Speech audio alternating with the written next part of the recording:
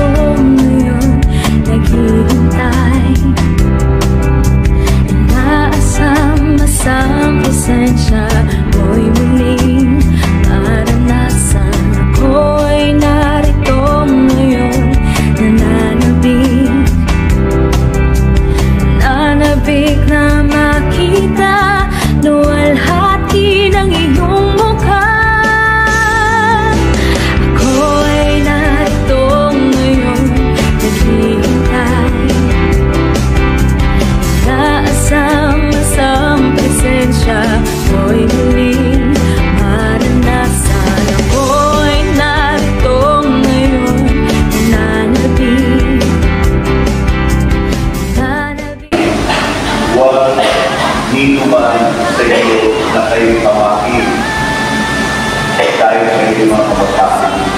Again, yung wisdom, kung na nakapalaligid, relationship ng Panginoon. Prioritize prayer. Engage with God's Word. Join in fellowships. Serve others. Last point, live out your faith. Hati ng iyong mukha sa mga